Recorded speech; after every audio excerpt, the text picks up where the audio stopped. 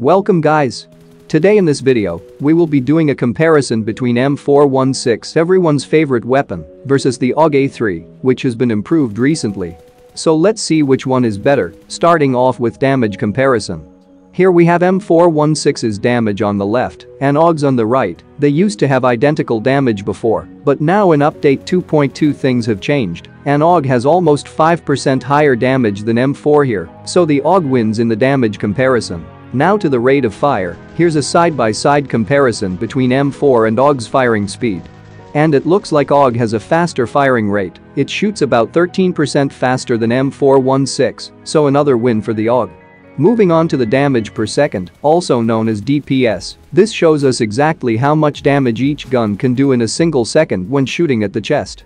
So M4 can deal 444 damage per second, while AUG can do 526 damage per second which is about 18.5% higher DPS when compared to M4, so AUG has a huge advantage here, and this is a big deal especially in close range, but not just in close range, at any range, AUG has the ability to kill your opponents quicker and faster. Now let's talk about recoil, because recoil is the most important thing about any weapon, so the M416 is very well known for being the most reliable weapon, and it is one of the easiest weapon to use in the entire game, but AUG is slightly better than M4, and it got even better in the last update, I mean just look at these recoil patterns, so you would have better understanding about it, so AUG's recoil is better in almost every way, since it has approximately 10% lower recoil than M4. So once again another win for the AUG in the recoil comparison, however I feel like M416's recoil is more predictable, maybe that's because I have a lot of experience with that weapon. But with AUG, its recoil is lower but not predictable, that could be lack of experience I guess. Now to the bullet velocity comparison, so this will tell us how fast the bullets will travel. Higher bullet velocity is always better because your bullets will hit your target first. Here's a side-by-side -side comparison of a 500 meters away target, and AUG's bullet hit the target 9% faster than the M4.